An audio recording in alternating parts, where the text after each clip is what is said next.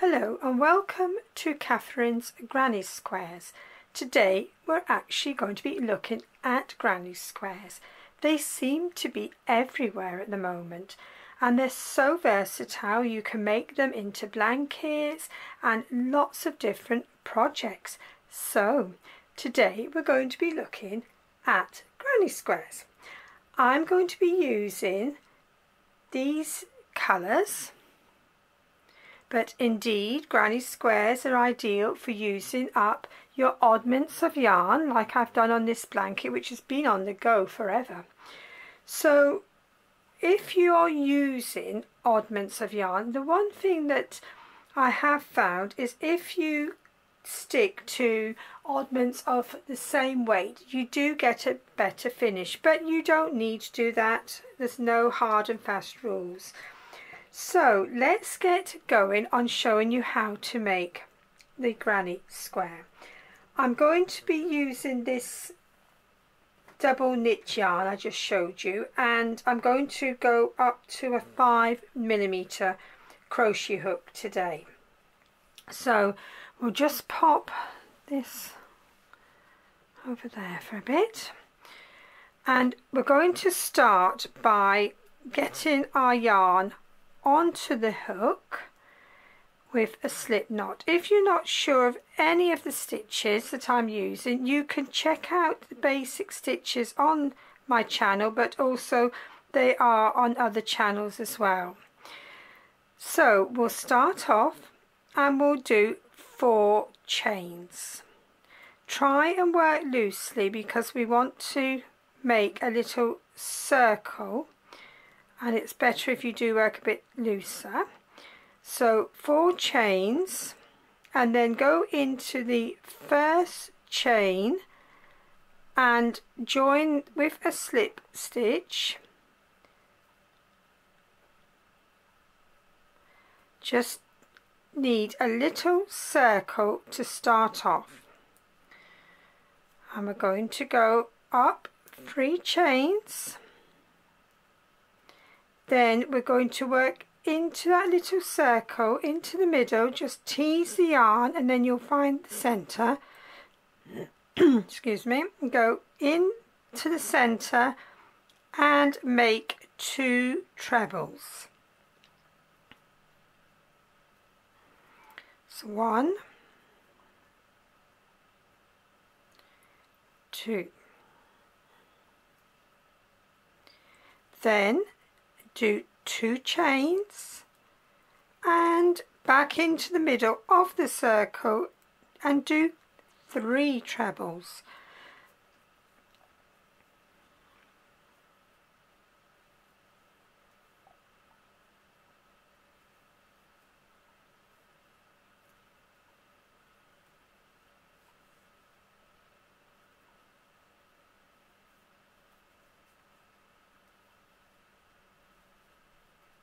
just trying to take that end along with me.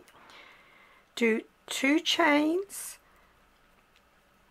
And another three trebles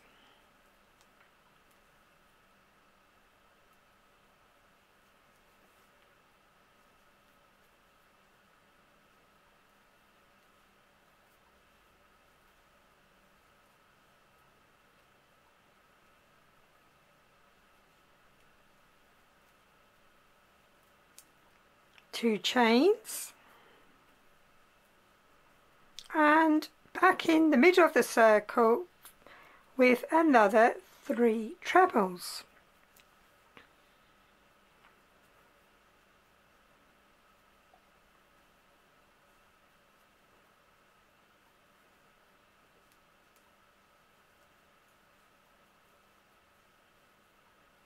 and two chains. Now before you join excuse me, a bit throaty today. Just check you have got four sets of three trebles. Bearing in mind that first little set was made up initially with the three chains. When you're happy you've got those, join into the first of that three chain with a slip stitch. So we'll just cut that yarn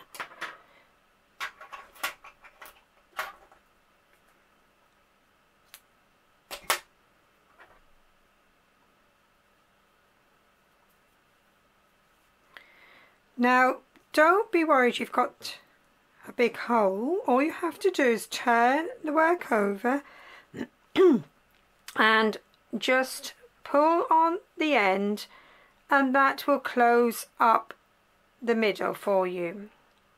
So we'll get another colour. We're going to go for this blue. As I say, I'm going to use a two, just the two colours today.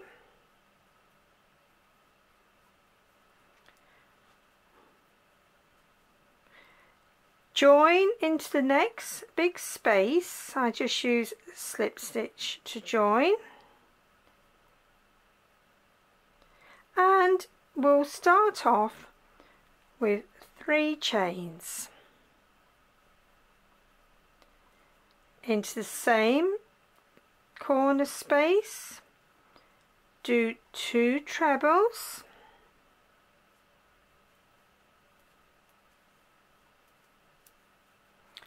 and two chains because we're making a corner here. And three trebles all into that same space.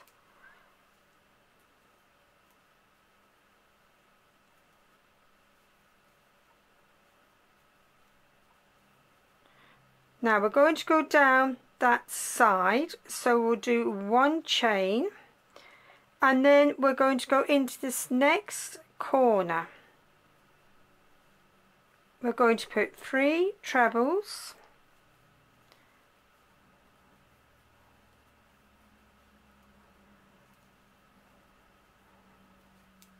Two chains.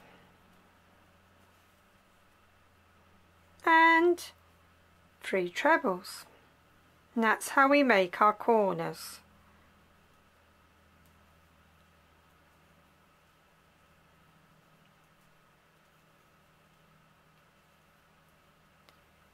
So we'll just have a look. And that's how you should be looking. You've made two corners. Because we're going down this side, we'll do one chain and then we'll go into this next corner and we'll do exactly what we've done in the other corner with three trebles it's only the first initial corner that you do it differently because you haven't got the three chains in the other subsequent corners you make three trebles rather than three chains and two trebles. So you do your three trebles, your two chains and your three trebles and because we're going down the side we do one chain. And then we're going into the last corner with the three trebles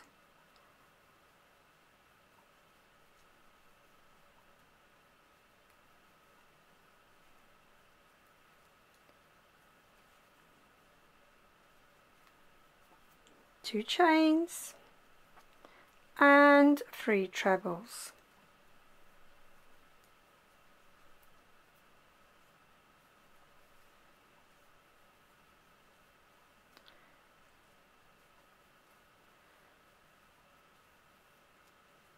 Because we're going down the side, we do one chain and then we join this round to the top of that three chain that we made initially. So just locate the top chain of that free chain and join with a slip stitch into there. Now if you didn't want to change colour you've already slip stitched into the top of the free chain. You would slip stitch into the top of this treble and the next treble and then slip stitch into the corner then you would just start again.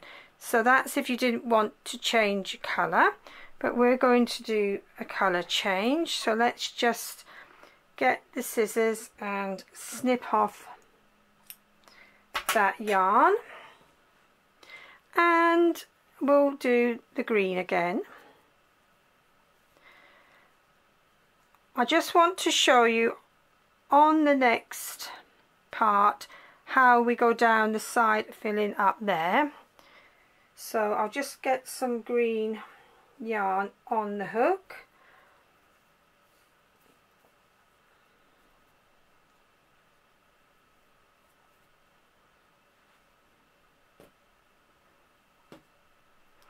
So I've joined there. I'm just going to go into this space here.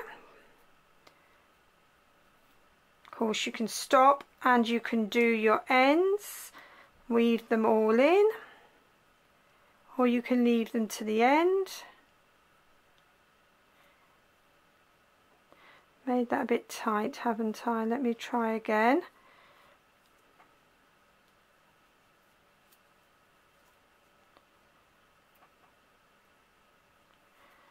Right, here we go.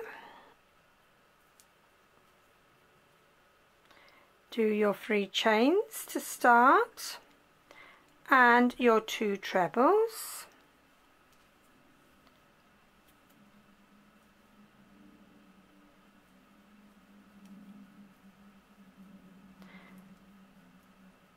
Two chains and three trebles.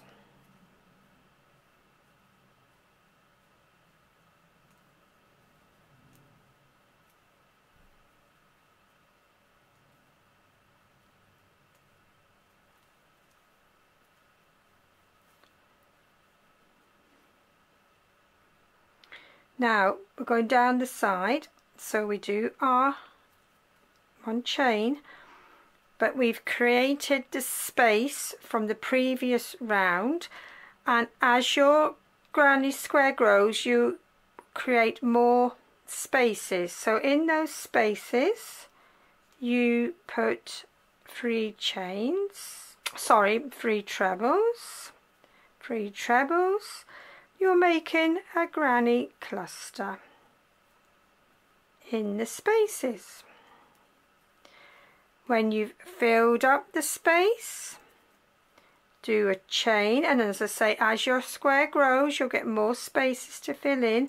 You fill them in with your three trebles and then you do your chain. And then we're back to the corner and we make another corner. And corners are made by three trebles.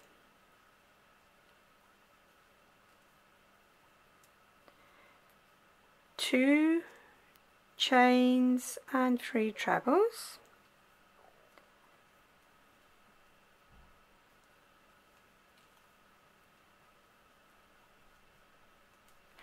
And then we do our one chain because we're going down the side.